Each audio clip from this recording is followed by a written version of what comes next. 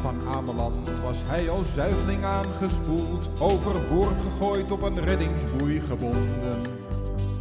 Hij had zich op de golven als in de baarmoeder gevoeld en schreeuwde tot hij door een jutter werd gevonden.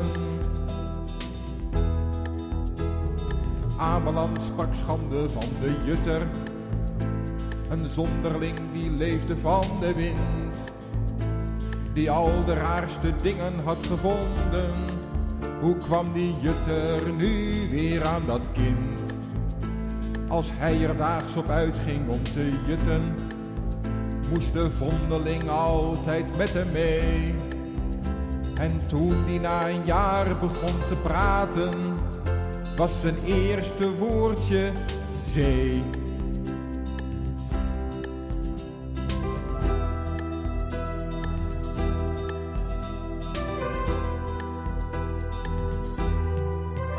Op het strand van Ameland speelde de kleuter jarenlang. De jutter was een meester die hem wijze lessen leerde.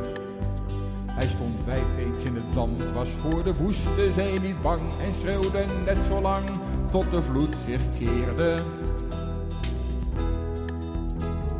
Ameland sprak schande van de kleuter, de vondeling die schreeuwde als de wind. Hoe was het in vredesnaam toch mogelijk dat de zee zich terugtrok voor een kind? Wat hij riep zou niemand kunnen zeggen, dat was uit de verte moeilijk te verstaan. En toen ze het de jutter vroegen, zei die, volgens mij roept hij, ik kom eraan.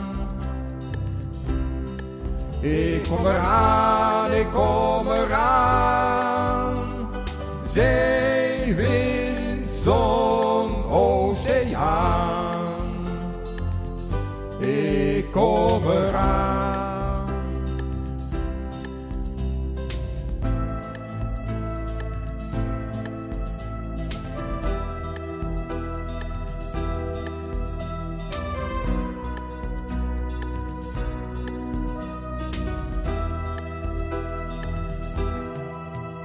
Op het strand van Ameland stond hij als knaap in de avondzon. Hij zei geen woord, begon zich langzaam uit te kleden. De vloed kwam hem tegemoet, hij zag alleen de horizon. Nog eenmaal draaide hij zich om, liep toen de zee in. Ameland sprak schande van de jongen, die naakte zonderlinge vondeling.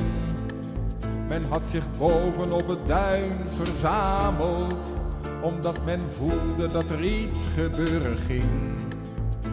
En toen begon hij plotseling te schreeuwen, zo hard dat het tot aan de duinen klonk. Nog even zagen ze hem op het water lopen, voor hij in de diepte zakte en verdronk.